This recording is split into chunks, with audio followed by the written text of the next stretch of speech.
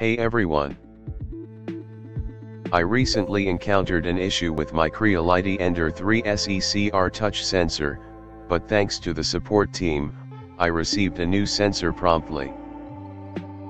While awaiting the replacement, I discovered a temporary fix that allowed me to continue printing.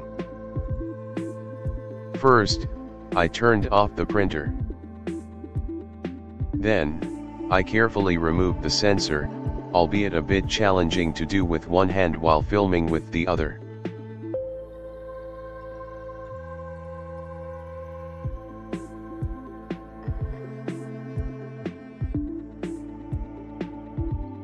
I gave the sensor a twist to ensure it wasn't stuck and waited for about 10 to 15 seconds.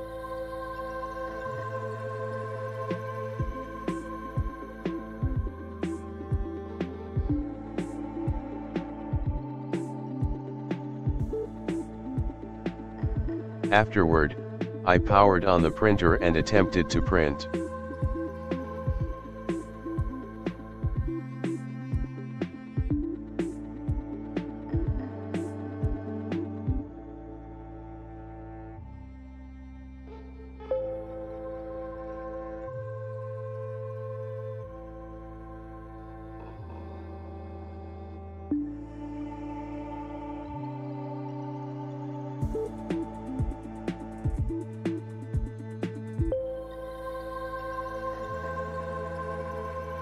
Sometimes, I needed to repeat this process a couple of times before it worked smoothly.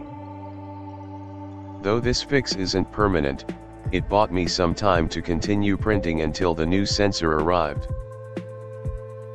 Thank you for your understanding and patience.